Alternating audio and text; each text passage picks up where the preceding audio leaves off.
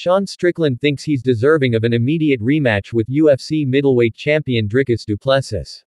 After losing the belt in a debated split decision in January's UFC 297 headliner in Toronto, Strickland 28-6 MMA, 15-6 UFC wants a chance to run it back with du Plessis 21-2 MMA, 7-0 UFC and thinks he's the most worthy contender in the weight class.